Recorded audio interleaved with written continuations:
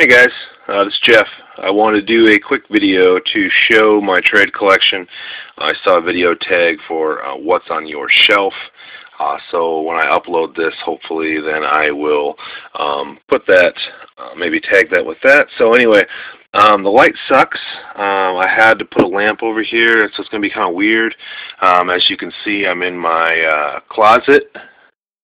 Um, my Chiefs jersey and some other clothes, and um, my short box is where I keep all the current books I'm collecting. So I have a really humble, um, just a one shelf trade. And as you can see, I'm coming to the end. I had a Animal Man uh, short box in there, but I've moved it because I'm going to pick up some new trades at Free Comic Book Day, and that's where they're going to go. And then also that slot will be for my Watchmen Absolute Edition that I want to get. So I have a copy of Watchmen. It's beat the shit. So it needs to be replaced, and I want to replace it with a Absolute Edition. But anyway, um, my top shelf here, first of all, I think you guys have met Mr. John Constantine uh, and his uh, on again, off again uh, lady, Zatanna.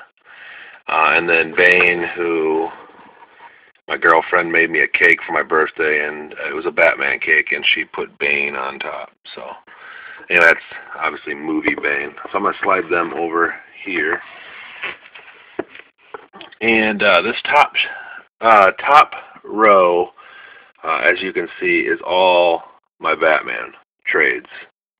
That's kind of how I collect Batman, and I only collect Batman in modern day continuity. Um, have a lot of old old Batman trades, and and they kind of have to fall into um, the modern continuity for me to have them. Um, I have a couple of hardbacks uh, lining the shelf here, and that of course is Killing Joke. Uh, and I also have uh, the hardcover of uh, Cacophony. Like I said, it's going to be hard to see. Um, and then I haven't opened this yet, but uh, Brian K. Vaughan's False Faces. Uh, and then I have Paul Dini's um, Heart of Hush. Uh, and then the then there's the paperbacks that start uh, Year One, uh, Batman, the Monster Man, and the Mad Monk, um, Brubaker's uh, The Man Who Laughs.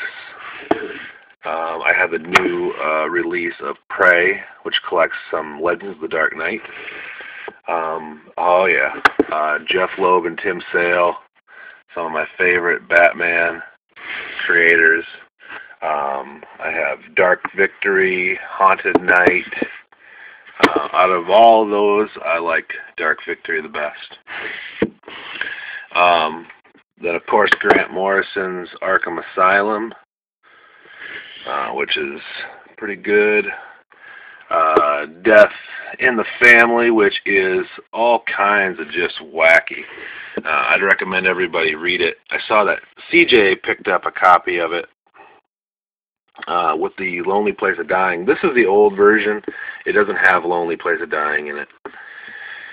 Um, Birth of the Demon. That's the that's the story of Damian being conceived, basically. And then I'm gonna pull those out. But you see, I have um, the Knightfall Saga, which is my favorite Batman story arc. and as you can see, I don't have um, what I don't have in this Batman collection is the um, uh, No Man's Land saga, which is five huge trades like this. So someday, um, Knightfall is better for me. So uh, up here, before I go any further, I got some uh, Lobo trades written by Scott Ian from Anthrax. I, I kind of like Lobo uh, when he's used right. Um, Batman versus Bane, uh, Tales from the Multiverse, uh, Batman Vampire, and then there's Black Casebook, which is great for anybody who wants to start the Grant Morrison run. It kind of gives some old Batman stories in here. I won't show you. They're from like the 50s. But they're great, and they tie into what Grant Morrison did. And then from here starts my Grant Morrison run. Um, there's Batman and Son, and these are in order. Uh, I'd recommend for anybody who wants to start the Grant Morrison run is if you get Batman and Son, get, or actually get the Black Glove hardcover, because in the Black Glove hardcover you will get uh, both Batman and Son and Black Glove collected. Um, and then there's also the Resurrection of Ra's al Ghul that fits in there. Um, there's Batman R.I.P., um, Batman Time in the Batman, uh, Battle for the Cowl, um, Batman Long Shadows, and then these books are incredible. Um, Batman and Robin, um, at least the first three volumes. You need to get those. Of course, that's Batman and Robin Reborn when Dick Grayson takes over. And then I have uh, Batman Incorporated, Return of Bruce Wayne, Gotham Gates. Um, then I have Court of the Owls, Volume 1 for the New 52. Uh, Penguin, Pride and Prejudice. Anybody who is digging Dark Knight right now with Gregg Hurwitz and um, um, you know Van Sciver and whoever else is on art. I know Serdansky, uh, Kurdansky was on there for a while. Um, this is Kurdansky and Hurwitz, so pick that up. And then of course Dark Knight Returns, which I love. And then I have actually a first printing uh, Dark Knight Strikes Again, uh, number one. I don't know what they call them. Um, premiere editions or or whatever. And then uh, Black Mirror hardcover and Bruce Wayne, The Road Home. So those are my Batman books. Um, my next shelf. And I'm sorry this is shaky. It's kind of hard to do right now. Um, the next shelf is my Stephen King's. Uh, there's my Stephen King The Stand, all six volumes, all hardcovers. And then my Stephen King um, The Dark Tower saga, which is my favorite novels. And they're doing adaptations, comic adaptations. I have all ten of them there. I should have. And there goes my Swamp Thing hardcovers and my uh, uh, Volume 1 um, the first 10 issues are collected in Dark Genesis. If you've seen my Swamp Thing videos, I've shown that. These books are packed in tight, so I'm not going to pull any of them out. And then there's all six volumes of the Alan Moore run on Swamp Thing.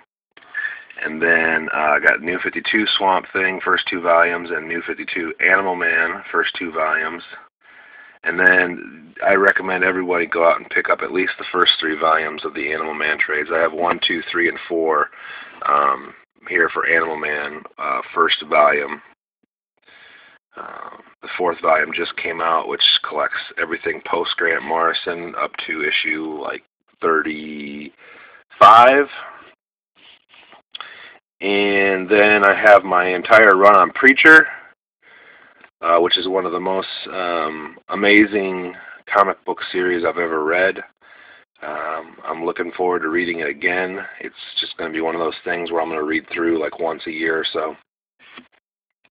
Uh, so if anyone hasn't checked out Preacher, it's from the 90s. It's uh, pretty solid. Um, and then I have some Garth Ennis stuff. Uh, well, this is all Garth Ennis. Garth Ennis wrote the Preacher uh, saga. Uh, there's Garth Ennis's The Pro, which is a, a prostitute superhero weird one shot story. um, anyway, uh, also got Garth Ennis The Boys, the entire run, volumes uh, 1 through 12. The Boys is absolutely incredible. Um, superheroes that are assholes and this group government agency that's supposed to, uh, normal guys but they're tough ass guys that are supposed to keep them in line uh, very interesting stuff so I recommend everyone check that out. And then we're going down to my bottom shelf, which will be very hard for me to kind of get the right angle. I have a bunch of other stuff down here. I have Severed by Scott Snyder. Um, the Old Black Kiss by Howard Chaykin. Um, Underwater Welder by Jeff Lemire. I recommend everybody uh, look into Jeff Lemire's uh, independent work. It's just really good stuff. Uh, the Nobody by Jeff Lemire, which was he released through Vertigo. Uh, more Brian K. Vaughan, as you can tell, I like Brian K. Vaughan. Uh, this is The Hood by Marvel Max. And uh, Grant Morrison, The Filth. And then here comes my American Vampire trades. Um, I have two in paperback, Volume 1 and Volume 2, and then Volume 3 and Volume 4 I have in hardcover, and I'm looking to get Volume 5 maybe this weekend. Um, American Vampire is a lot of fun by Scott Snyder. So anybody who's not looking into American Vampire, who's enjoying Scott Snyder, you might want to check it out. Um, oh, up here I had the Marvel Now preview. I had uh, Free Comic Book Day from last year, and uh, I have an Inve Avengers Invader, uh, one in 25 or maybe one in 100 variant. I don't know. Um, yeah, don't I have some of that stuff. Um, here's my Hellblazers. I've shown you already. Volumes 1, 2, 3, and 4. Volume 5 coming out soon. Uh, I'm picking up Volume 2 of Frankenstein, Agent of Shade this weekend, I think, if they have it in. I uh, can't wait. Uh, I got the first two volumes of I Vampire, as I've shown before. Um, All Star Superman by Grant Morrison, one of the only Superman trades I own. I love it. Uh, Manhattan Projects. Here comes all my image trades. Manhattan Projects, Volume 1. Hope to pick up Volume 2 this weekend. I meant to pick it up before. Um, there's my Saga trade. I will be picking up the second volume of that, and I'll probably be staying with it as long as I'm enjoying it. Uh, Mind the Gap.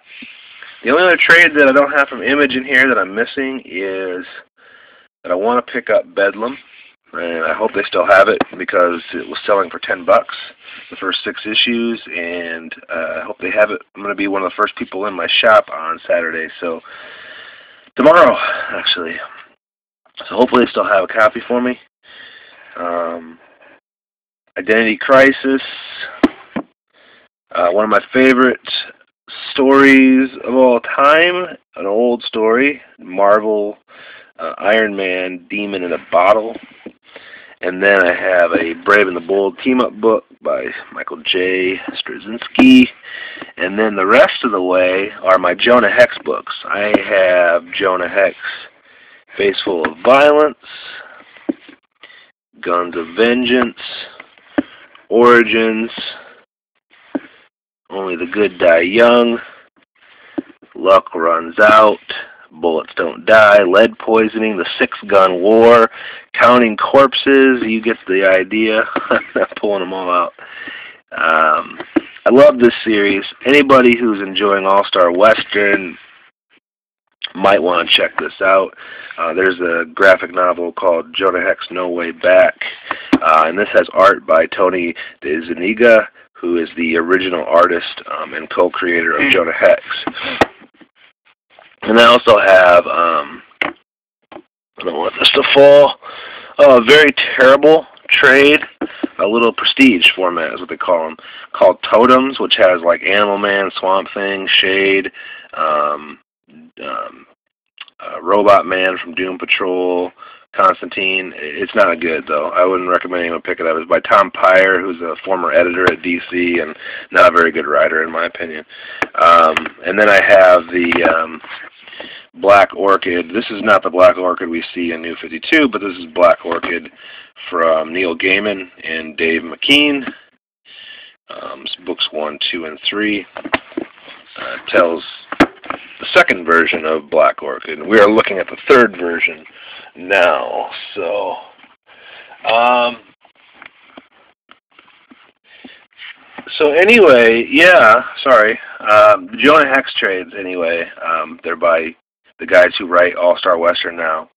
Uh, and then there's a varying rotation of artists. You saw um, artists like um, um, Darwyn Cooke, J.H. Williams, um, Phil Noto, uh, just a rotating, Luke Ross I think was one of the first uh, artists that was in there, so a rotating cast of artists that, you know, these are all like one-shot stories. So they, I would recommend these to anybody who's uh, likes westerns or, or likes Jonah Hex. So, um, but yeah, anyway, I'll pan back.